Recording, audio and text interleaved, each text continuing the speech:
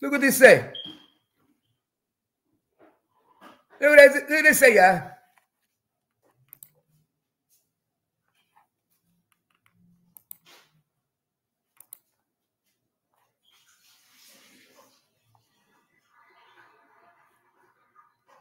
So after two years in Syracuse, he transferred to Fairmont State for the 2021 season, where he played for another two years. Now, this is where it all gets tricky. Why do you think he had to leave Syracuse? this is what I told y'all earlier, y'all. Niggas don't just transfer to Fairmont State. Do you, do you hear what, what he just what they saying to y'all? They want you to believe. After two years at Syracuse, he just decided to transfer to Fairmont State. He didn't just decide to transfer. That's not what happened. They not giving you the truth, the whole truth, and nothing but the truth. He didn't decide to transfer. Your boy got kicked out of school for drugs, and he also snitched on the other few people. But guess what? Because he was the good old white boy, because he was the good old white boy, they allowed him to transfer because he was snitching. He snitched on all the people selling drugs in, on Syracuse campus. It was a big uh, drug thing going on at Syracuse University, yeah. And Brendan Paul was in the middle of it. Brendan Paul been a, a, a, a confidential informant since college. Since college, y'all.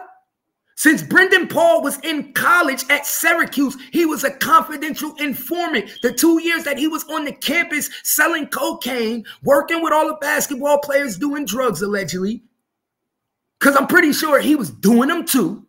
He decided to take it upon himself to help put a few people out of school.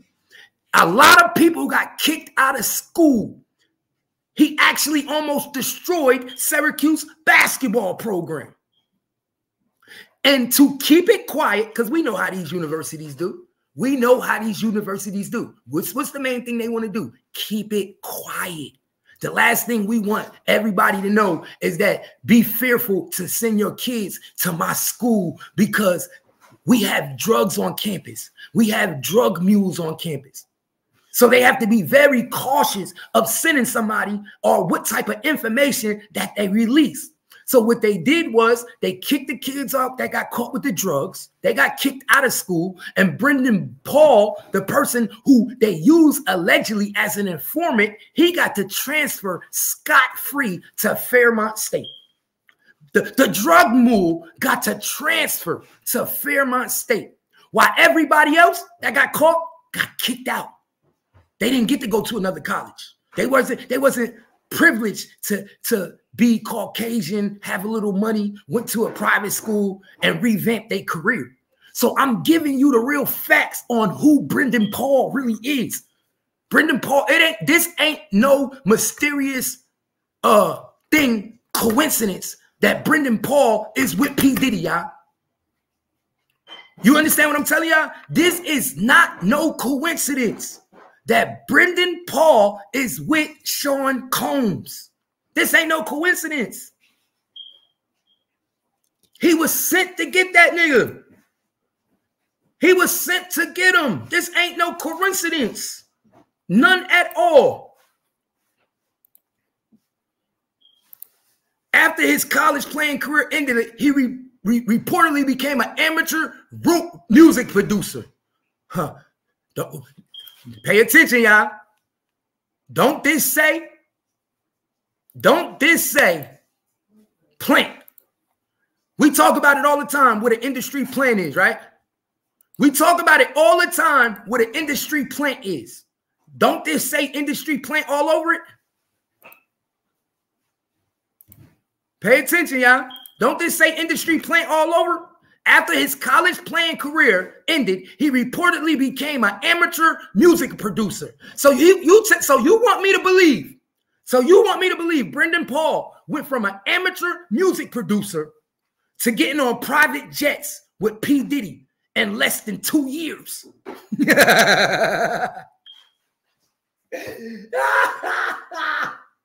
so you want me to believe that Brendan Paul went from being an amateur, an amateur music producer to hanging on private jets with P. Diddy in two years, in 24 months, and he's not an industry plant? and he's not an industry plant? Make it make sense, y'all. After his college playing career, he ended up reportedly became an amateur music producer, according to the New York Post. So it only took him two years from the time he grad. Listen, he just graduated in 2022. He just graduated in 2022. 2024 just started. So it ain't even been 24 months. It's really not even been like 16 months. So you telling me in a 16, 8, 17 month span that he was able to be an amateur producer and start flying on, on planes with your boy Sean Combs. That says industry plan. Everything about that say industry plan. These industry niggas is just so stupid that they can't see it.